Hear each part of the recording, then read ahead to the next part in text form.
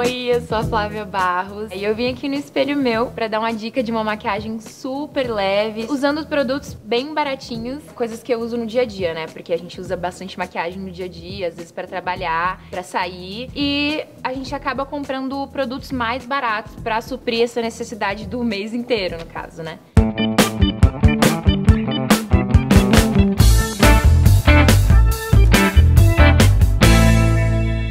Começar passando um primer, que não entra nessa linha de super baratinho, mas é um investimento que se você quiser fazer. No caso, como eu tenho algumas manchinhas, eu acho importante proteger um pouco a minha pele. E aí eu coloco só um pouquinho se tu investir num primer bom, ele vai durar muito tempo.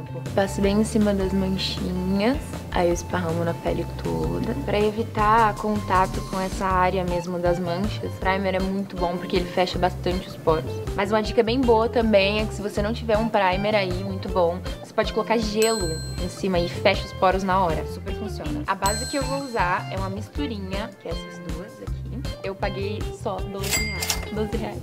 Dificilmente eu consigo encontrar uma base do tom da minha pele. Então eu sempre tenho que misturar duas bases diferentes. E aí eu coloco na mão, assim, e misturo até ficar mais ou menos o tom da minha pele. Qualquer coisa eu vou mudando também. Vou colocando mais da claro, mais da escura. E aí eu aplico com batidinho. Dá pra aplicar com a mão mesmo, que eu acho melhor. Mas se você preferir pincel ou esponjinha, que eu acho que a gente utiliza melhor a base quando a gente consegue aplicar com os dedos. Logo depois que eu passo a base, eu já volto com contorno com a sombra. E aí fica tudo uniforme. A base, tô usando ela principalmente porque eu misturei dois, dois tons, né? Pra deixar a pele toda de uma cor só. No começo vai parecer estranho, vai parecer que eu tô toda branca, toda de uma cor. Mas é porque quando você passa a base, tira imperfeições, mas também tira a sombra natural do rosto. E aí depois a gente vai resolver esse problema. Eu tenho a testa mais escura que o resto do rosto. Então eu costumo, quando eu vou fazer a testa, colocar mais do, do tom escuro do que do claro. Isso depois no final dá uma boa diferença. O legal dessa base, gente, é que ela não craquela, mesmo que você fique por muito tempo com ela. E o que é bom também, a dica do gelo, é super importante você fechar os poros antes para não craquelar durante o dia. Um pouquinho no pescoço, pra não ficar aquela cara de fantasma, né? Agora eu vou colocar o contorno nesse rosto, né? Devolver um pouco de sombra. Uma dica, se você não tem um pó bronzer, que ele é específico para isso, você pode comprar um tom de pó, qualquer pó, que seja um tom mais escuro do que a tua pele, a tua base, né? Que aí você pode fazer o teu contorno, qualquer um. Várias marcas têm vários tipos de tom de pó, né? Que é bem legal, deve custar 20 reais, 30 reais. Mas se você tá achando muito produto ou, enfim, não precisa decorar o que eu tô falando, né? Tem a descrição aqui embaixo que vai estar tá todos os produtos, se você quiser comprar. O legal dessa maquiagem é que dá pra você fazer com o que você tem em casa. Sua mãe é um pouquinho mais escura que você, pega o pó dela e faz ele de bronzer. tá vendo que já deu uma voltada na sombra do rosto. O próximo passo é sobrancelhas. Inclusive tá faltando uma cor, vamos esconder. Eu uso essa daqui. Ela é muito boa, assim, porque é bem da cor da minha sobrancelha. Eu tenho a sobrancelha bem falhada, tá vendo? Mas cobre super e dura muito. Dura, tipo, o dia todo. Se eu quiser ficar o dia todo com essa sobrancelha marcada, eu vou ficar. E aí eu passo do meio, começa do meio pro final. Eu gosto de passar com esse pincel porque ele não deixa marcado. E ele também tem vários lugares, eu acho que eu paguei uns 5, 6 reais nele. E ele também vem em estojos. E aí você vai preenchendo a sobrancelha. E detalhe, eu uso essa, né, que é para sobrancelhas. E eu também uso uma paleta um pouco mais escura também de sombra, que é sombra para olho mesmo. Mas essa de sobrancelha é maravilhosa. E por outro lado, a mesma coisa. Uma coisa que eu uso muito também, rímel incolor. Rímel incolor que é para deixar os cílios mais durinhos, né? Eu uso na sobrancelha. Agora tá bastante na moda você usar sobrancelhas para cima e com os pelos bem penteadinhos assim e durinhos. Mas assim, tem produtos que têm a mesma função e que acaba sendo muito mais caro, mas eu uso o rímel incolor na sobrancelha. Dá um super efeito, eu amo isso. E eu paguei, eu acho que uns 7 reais, eu paguei 7 reais, exatamente. Depois disso, eu passo o rímel, o Curvex e o rímel. O Curvex, que é esse daqui, Você tem vários truques na internet que você pode fazer com colher, pode fazer com várias coisas super diferentes, mas eu gosto do efeito que esse Curvex dá não só esse, né? Mas todos os Curvex. E o Curvex, absurdamente, eu paguei 13 reais. Ele fica bem curvadinho. Agora eu vou para o pó, qualquer pó translúcido. Ó, tá vendo? Esse é um pouquinho amareladinho. Eu pego um pouquinho e eu passo nessa parte aqui. Eu não uso corretivo líquido, porque eu acho que fica muito pesado.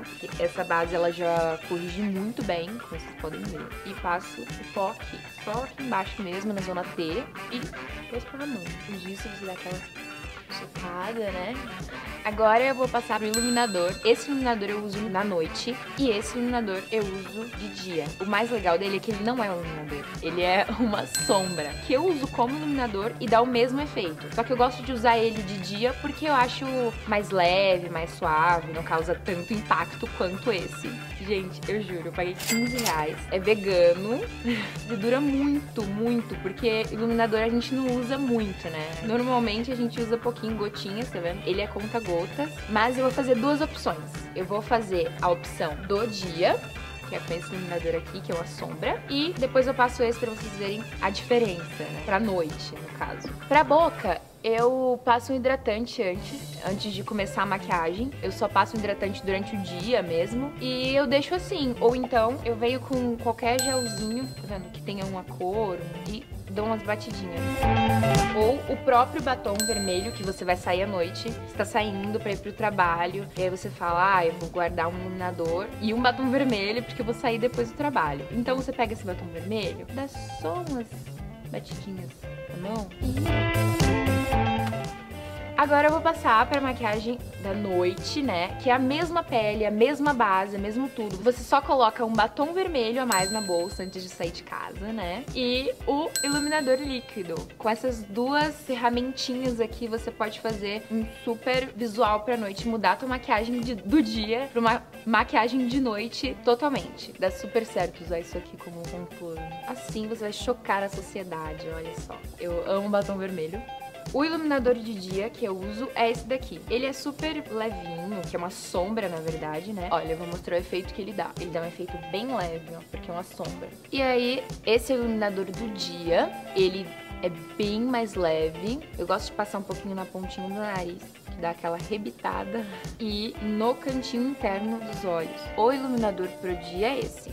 Mas agora, se você quiser usar um pouquinho mais após, né, sair do trabalho, passar o batom vermelho, você usa esse iluminador maravilhoso aqui, que é super baratinho e é super fixa muito bem, sabe? E aí você vai colocar umas gotinhas.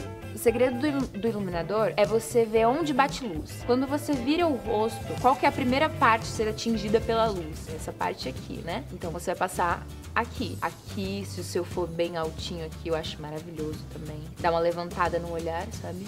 Só uma gotinha. E do outro lado, a mesma coisa. Uma pontinha do nariz. E aí você vai fazendo batidinho.